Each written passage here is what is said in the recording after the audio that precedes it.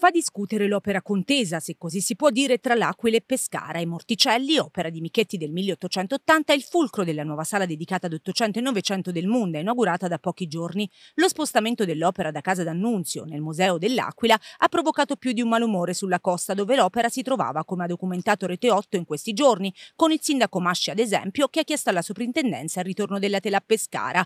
Ma la proprietà è del Munda e a Pescara si trovava come altre opere per un deposito temporaneo, lo spiega spiega bene il critico d'arte aquilano Antonio Gasparrini, ricordando che il Museo Nazionale d'Abruzzo è di tutti gli abruzzesi, acquistò il Michetti nel 2005. Quest'opera è del Museo Nazionale d'Abruzzo ed è pervenuta nel museo nel 2005 perché eh, il museo acquisisce anche opere sia del passato che contemporaneo per implementare la sua prestigiosa collezione.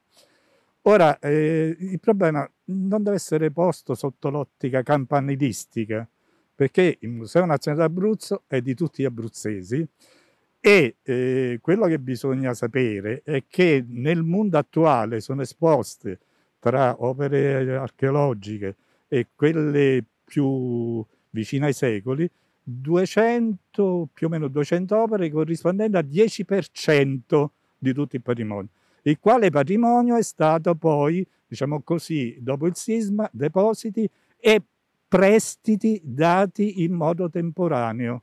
Cioè queste opere, le 11 che la sovrintendente Fileti ci ha riportato ad Aquila, erano tutte opere date in prestito temporaneo. Quindi il problema non esiste, non esiste. L'opera è molto prestigiosa e tante persone in questi giorni si stanno rivolgendo al museo per poterla vedere. Del resto si tratta di una tela straordinaria, come sottolinea il critico d'arte. Nel 1880 fu esposta per la prima volta alla, diciamo, all'esposizione a Torino nel 1980 e riscosse un grande successo.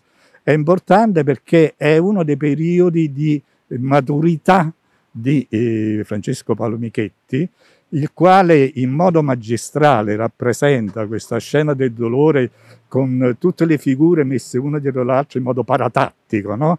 E quindi una sintesi bellissima del dolore, ma anche della bellezza del paesaggio, di tutto quello che sta dietro e che riguarda gli abruzzesi. Ed è, secondo me, un'opera che fa da liaison tra eh, collina, eh, montagna e, e mare. Cioè, ecco, è un'opera emblematica, forte, nonostante ci sia il pathos del, del Morticello.